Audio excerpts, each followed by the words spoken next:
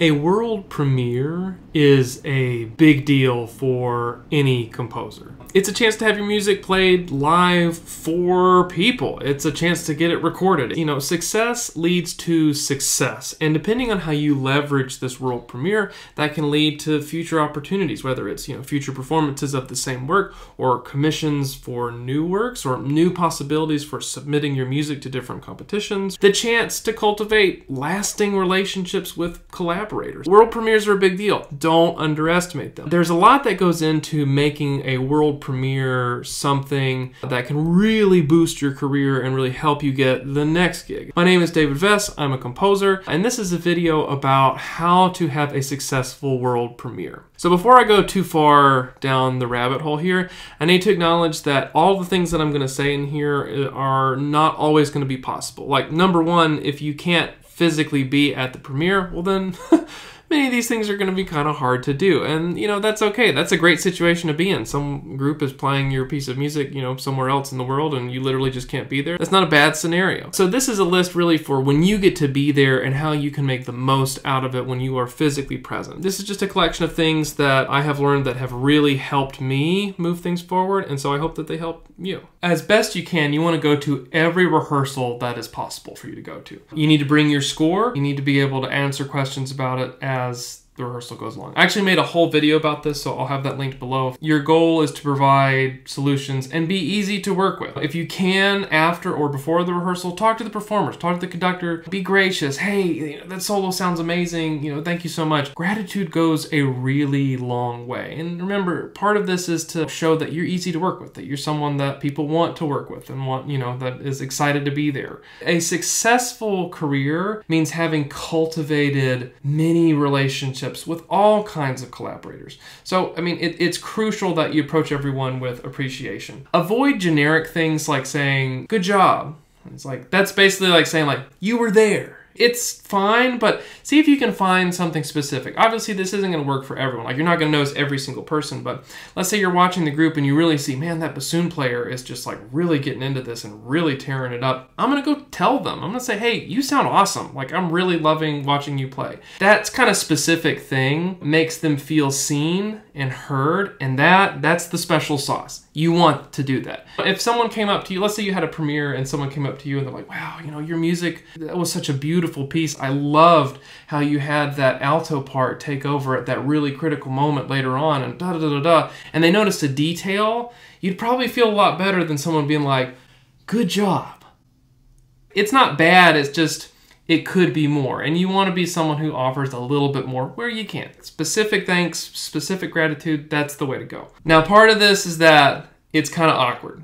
It's it's awkward. It's awkward to talk with people after a rehearsal or before or whatever. And you know what? Never goes away. It's just, it's just, hey, it's part, it's what's for dinner. It's part of the deal. It sucks, but uh, you get used to it. It's never not going to be awkward, but you should still find a way to be appreciative and say thank you and show up and just go talk with them. I know you probably don't want to go talk the, with the conductor. You should absolutely go thank the conductor. The more that you do it, the easier it'll get. It's like diving in a pool. The water's cold, you it's shocking, it doesn't feel good, it's not comfortable, but once you do it for like five minutes, you forget and then you get used to it. So just know that you will get there, dive in the pool, do it, don't not do it. During the rehearsals, if possible, get a little snapshot of, of the rehearsal itself. Like take take a video or take a picture or something. You know, you want to post it to your social media accounts, whatever you use. That's an important part of the proof of concept. It can be a little weird when you're like, I'm a composer, and then someone looks you up and there's like three posts, it's just like your cat or something. You want to show, I, am doing the thing. I'm, I'm being a composer. I'm showing that I'm doing this. It's an important thing to do. So I, I sympathize if you dislike it and you don't want to do it. I understand. But it is an important important part of the proof of concept. If you learn anything from me,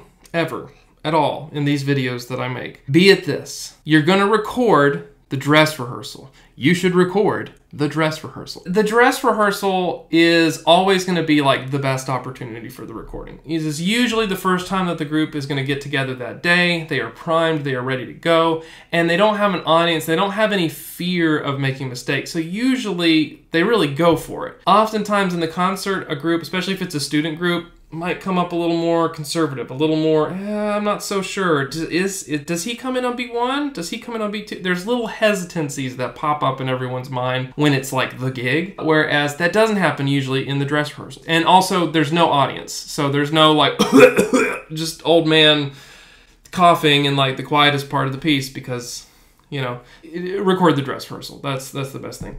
When you arrive at the premiere, you're gonna get a program. You're gonna get that program. It's very, very important. During the world premiere, take your phone and record the performance. Like let have it literally sitting in your lap and record it. Now that sounds kind of silly, but you might be surprised at how good the recording can turn out to be. Uh, one of my best score videos is it's a choir piece, and I literally just had it like had my phone in my lap during the performance, and it's the one that I ran with. It's it's it's a it's a solid recording. Now that piece of practical advice comes from an amazing composer and mentor, uh, Sydney Guillaume. He's, he's, a fantastic choral composer. I, have linked his stuff below. You should definitely definitely check him out. He gave me that piece of advice that's not original to me, but I'm sharing it because it's it's just good advice. So check his stuff out. He's super great. Now the reason this is so crucial is because organizations and performers do not always prioritize getting you the recording. It's a thing that sucks. They have other things that are going on. You are usually a small part of the operation, right? Like, oh, my piece is being played. It's like, yeah, you're one of like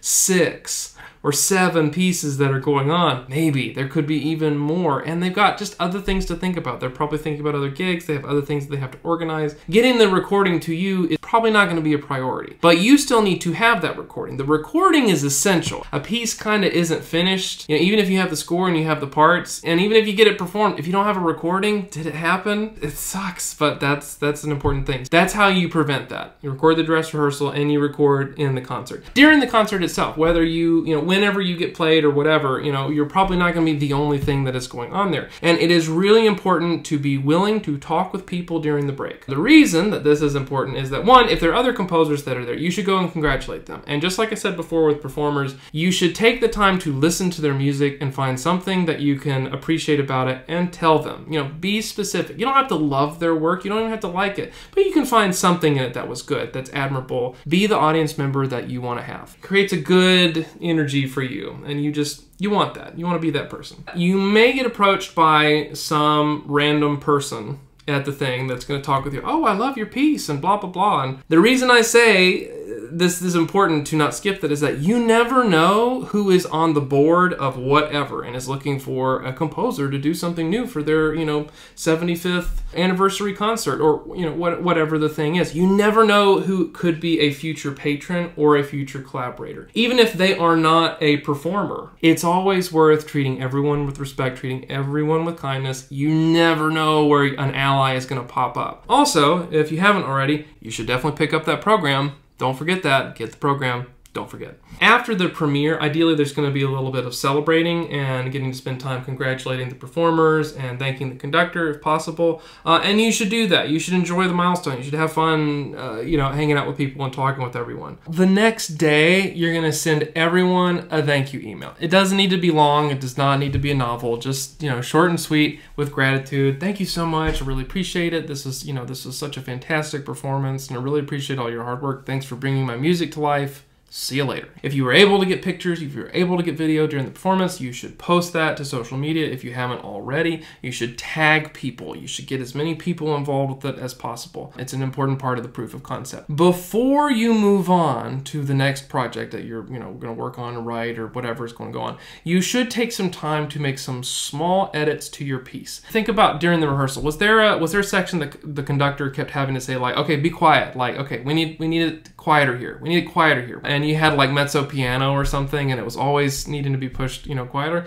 consider changing the dynamic. Did the conductor constantly want to start at measure 47 and there was no rehearsal mark? Put a rehearsal mark there. The conductor did a ritard here and I actually liked how it sounded add it in. It could be like a part where they really need a reminder to stay loud and keep the energy up. You might add that dynamic in. I only recommend doing this with small changes. You can do what you want, but I don't think it's a great idea after you've had a performance to go back and drastically change the piece. Set it up for success for the next performance that you're going to have. If you just notice a couple of consistent things like that, just go ahead and make the change. Now the next thing you're gonna do is you're gonna make a score video of your piece. And this is very simple. If you took the time to record it and you have a version of the piece piece that is decent to run. Uh, you don't want to put something that's like not not solid. Uh, you know that isn't a good run that doesn't represent the piece. Like if it's a, from just a rehearsal and there's like a massive crash, it's it's not worth including. But if you get a good run, go ahead and take it, make a score video. I'll show you how to do it. It's incredibly easy. It's incredibly simple. You're literally going to go on your computer and you're going to go to the PDF that you use to make the score. And assuming you've already done all the things that you need to make this, you know, the score look good. Hey, I made a video about that too. Posted it down below. You're gonna literally take a snapshot of the thing itself. Make sure to leave plenty of room around the border. You don't want it super tight. If you're using like a large ensemble score, like let's say it's like wind ensemble or orchestra or something like that, I will hide as many staves as I can. On the piece of paper, it's gonna look super illogical, but don't worry about that because that'll make the detail more clear for the video. It doesn't take very long. You're just gonna snapshot every single page and then you follow along in the recording and you add the next page as needed. And then you post it to YouTube and then people can interact with it. And so people like who sing in choir can go sing along with it. And they might be like, hey, you know, tell my choir director I found this piece and uh, I really like it. Can we do it? And then they might contact you to purchase it. That's an it's an essential way for people to engage with your music. So that's why getting that recording is so important, and that's why having the score really well set in the first place is you know really good. Don't be intimidated by by by this. Don't be intimidated by it. Just do it. I wish I had done this forever ago. I thought it was way more complicated than it is, and it's not. So do it. Post it to YouTube uh, with a score video, and if you want to do just the audio, post that on SoundCloud or some other comparable thing. If you haven't done so already, you're going to want to register the work for royalties. Remember that program? That you should not have forgotten and you definitely got multiple times, you're going to use that to report the performance to whatever performing royalty group that you go with. So for instance, I go with BMI. So whenever I have a performance that isn't like a student thing, you know, that's like with a professional group or, you know, that has a presenter, I send it and I get a little bit of money back depending on the length of the piece and the type of forces that we're using. It adds up. It's a little bit of extra change and hey, you know, it's free money. I mean, essentially all you got to do is just send the program. So don't forget the program.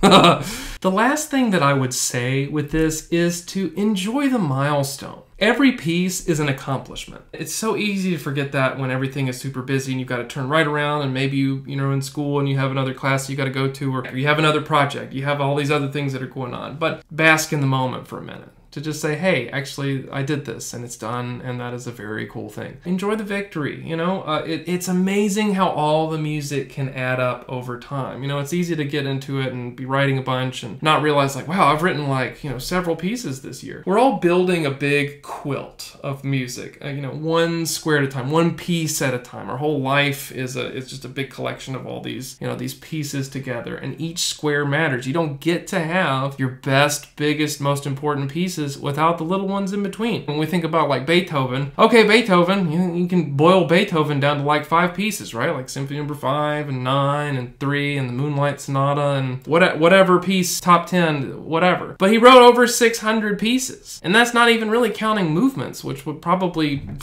double or triple that number. It's important to keep that perspective that every piece matters. It does lead up, even if it isn't the greatest thing that you're ever going to write. It's an important milestone, and you should enjoy it. Because after that, once you finish, once the night is over and the day is over, whatever, it will be time tomorrow to face the blank page again and just start the whole process over again. And it's great. That's why we do this. That's why we're here. Thank you so much for watching. I really, really appreciate it. Uh, what was your best world premiere? What made it special? What made it like, ah, this is the moment that we live for? I, would love to hear it in the comments below. Really, I, I, I really would. What, what made it special? And I'd also love to hear any horror stories like, oh, this went wrong, and oh, I can't believe this happened. And we can learn from what is good and from what is bad. So I'd really appreciate if you would leave me a comment below. Thank you so much. Best of luck to you. See you next time.